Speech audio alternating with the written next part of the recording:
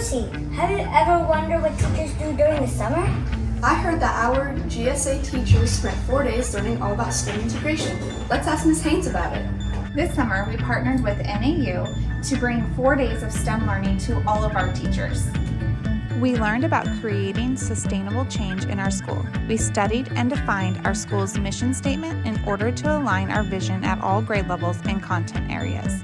We also revisited our definition of STEM the application of learning through student production and problem solving that integrates at least three subjects science, technology, engineering, mathematics, and or ELA.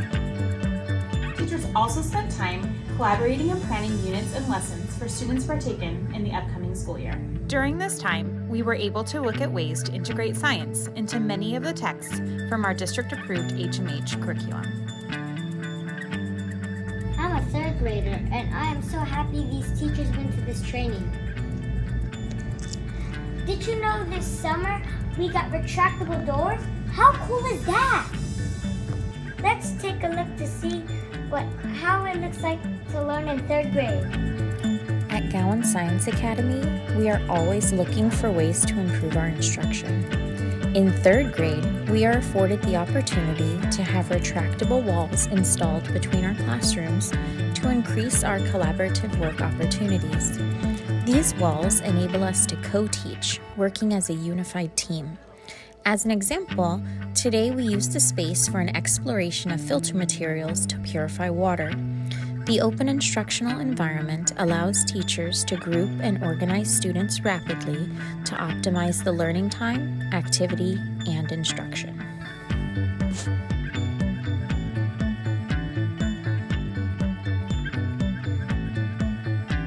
On Wednesdays, we gather together as a grade level and we work on farming and sustainability that can connect to Yuma agriculture. We are currently learning about farming sustainability, which directly connects to the challenges currently facing the Yuma community. Just like in our community, through this unit, we are learning that something as simple as planting a seed starts a ripple effect that connects us all.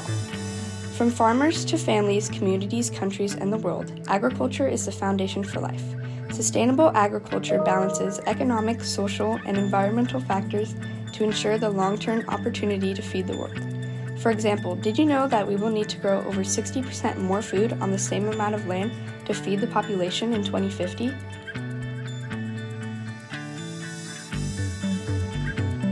As a math teacher, I have thoroughly enjoyed working with my middle school students through STEM learning on Wednesdays.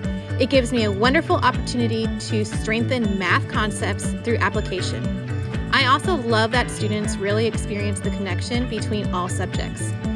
Team teaching is so enjoyable and gives me an insight to other teaching styles and what works best for all our students.